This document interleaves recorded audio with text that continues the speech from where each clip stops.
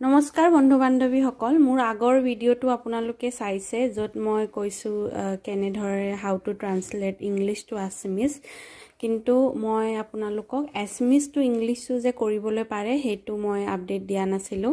তো এই ভিডিঅ'টো শেষলৈকে চাব তো গম পাব যে কেনেধৰণে অসমীয়াত লিখিলে আপোনালোকে translate Assamese to English translate কৰিব পাৰিব।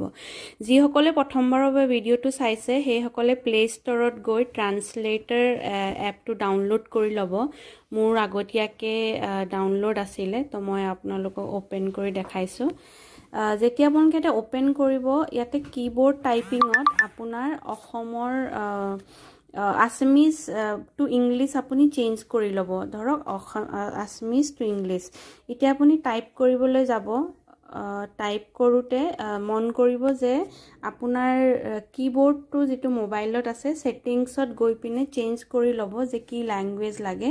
মই অলৰেডি চেঞ্জ কৰি লৈছোঁ অসমীয়া লেংগুৱেজ লাগে। তো অসমীয়া এতিয়া ধৰক মই লিখি আপোনালোকক দেখাম।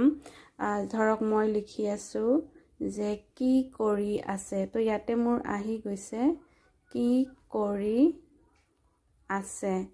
আপুনি দেখিছে কি কৰি আছে যেতিয়া আমি অসমীয়াত লিখিছোঁ তো ট্ৰান্সলেট নিজে নিজে হৈ গৈছে হোৱাট আৰ ইউ ডুইং আপোনালোকে এই এপ্লিকেশ্যনটো ইউজ কৰিব আপোনালোকে বহুত লাভান্বিত হ'ব।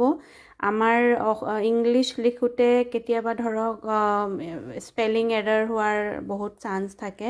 তো এতিয়াৰ পৰা আপোনালোকে যি অসমীয়া ভাষা ধৰক আপোনালোকে ইয়াতে লিখিলে আৰু টাইপ যেতিয়া আপুনি ট্ৰান্সলেট ইংলিছলৈ অনুবাদ হৈ যাব।